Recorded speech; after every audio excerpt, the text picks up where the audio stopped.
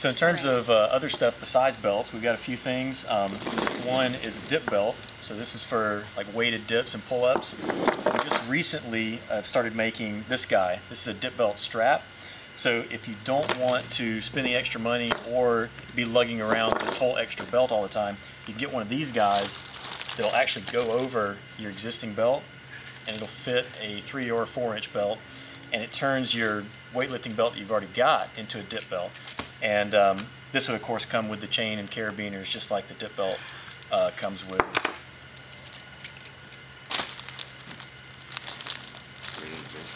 This Yeah. little guy is our uh, our deadlift jack or wedge, whatever you want to call it. And what this does is give you an easy way to change plates when you got the bar on the floor.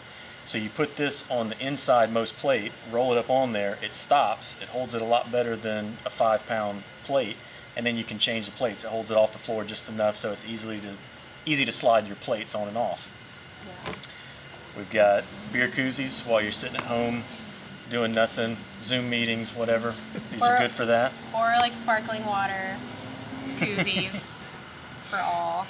And then we've got several types of uh, lifting straps.